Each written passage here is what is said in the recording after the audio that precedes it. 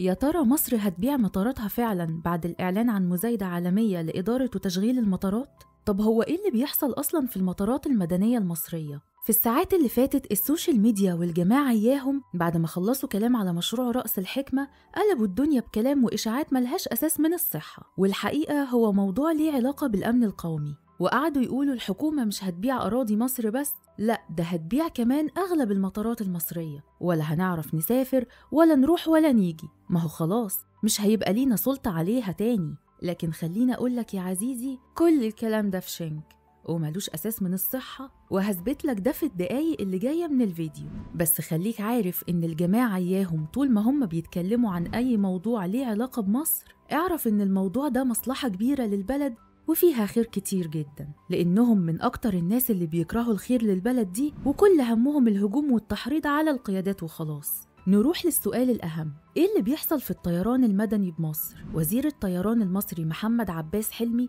طلع من يومين كده وقال إنه مصر عرضت مزايدة عالمية لإدارة وتشغيل المطارات وإنها بتسعى تجيب مستثمرين لإدارة وتشغيل المطارات بما فيهم مطار القاهرة الدولي وده لتحسين الخدمات طبعا الكلمتين دول قلبوا الدنيا ودخلنا في موضوع إننا كده خلاص مش هيبقى لينا سيادة على المطارات تاني. علشان كده لازم تعرف وتتأكد إن مفيش شبر على أرض مصر مش بيخضع للدولة المصرية وإن مسألة السيادة غير قابلة للنقاش. فمحدش يصدق إن في جهة أو هيئة أجنبية اقتصادية ليها سلطة غير سلطة الدولة المصرية. وده طبعا طبقا للأمن القومي ولازم تكون خاضعة بشكل كامل وكبير للأجهزة المصرية. لكن كل الحكاية لما تقول كلمة مزايدة ده معناه إن الشركات هتقدم في المزاد وأفضل عرض فيهم الدولة هتاخده. فبكل وضوح قطاع الطيران المدني والمطارات جزء كبير منها قطاع اقتصادي يعني المفروض قطاع بيكسب وبيتطور وبتخضع ليه عشرات الشركات التابعة في الخدمات الجوية والضيافة والصيانة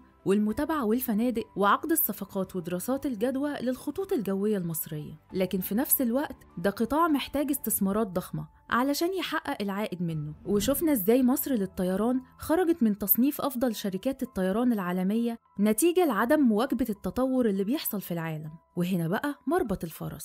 إحنا عايزين مطارات مصر تبقى زي مطارات العالم. طب إيه اللي مميز أصلا في مطارات العالم عننا؟ المميز يا سيدي إن الدول اللي بره أسندت عمليات إدارة المطارات والمقصود هنا المنظومة الاقتصادية في شركات وهيئات المطارات للقطاع الخاص والشركات المتخصصة وجابت ناس تصرف علشان تطور وتكسب في نفس الوقت. وده كله من غير ما تمس سيادة الدولة على المطارات ولا الجمارك ولا الإجراءات الأمنية. وده اللي عايزه وزير الطيران المدني المصري اللي كشف عن خطة لإدارة وتشغيل المطارات المصرية هيتم الإعلان عنها قريب في مزادات عالمية والهدف من الطرح هو توفير تجربة طيران أفضل للركاب وتحديث الخدمات وتطوير الأداء في إطار السعي لدمج القطاع الخاص تنفيذا لسياسات الدولة. يعني الخلاصة مصر مش هتبيع حاجة لأن الدول عايزة حضرتك وحضرتي وحضراتنا كلنا نتمتع بخدمة كويسة في قطاع الطيران. وفي نفس الوقت تحويل المطارات لمطارات عالمية ومصدر للجذب والاستثمار الاقتصادي والسياحي والتجاري. وبس يا سيدي هي دي الحكاية ببساطة. فخليك واثق في قيادة بلدك.